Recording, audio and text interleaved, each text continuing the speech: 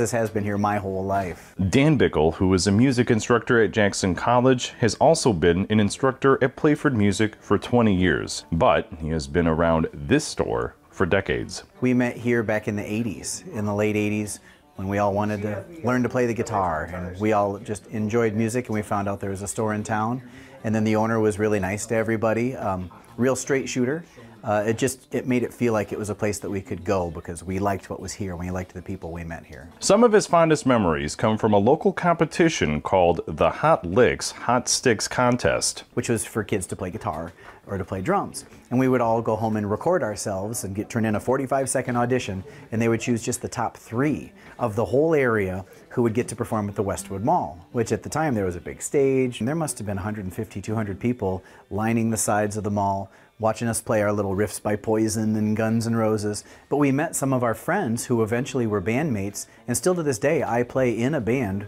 with one of the people who I met in that competition in 1989. Saturday, Playford Music is closing its doors after 46 years of serving the Jackson community. I kind of knew that something like that would probably be coming because it had been in the discussion for several years. Retail's been a little tougher, so the store does most of its business now through like churches and schools, and we've done a lot of the sound systems at football stadiums and gymnasiums. Craig Playford, who owns the music store, said in a statement, many times in the store's 46 years, wiser men would have probably closed the store and gone on to other careers.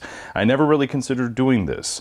What I love most about my career is the people. My band instrument repairman Craig Easterday has been with me since the late 1970s.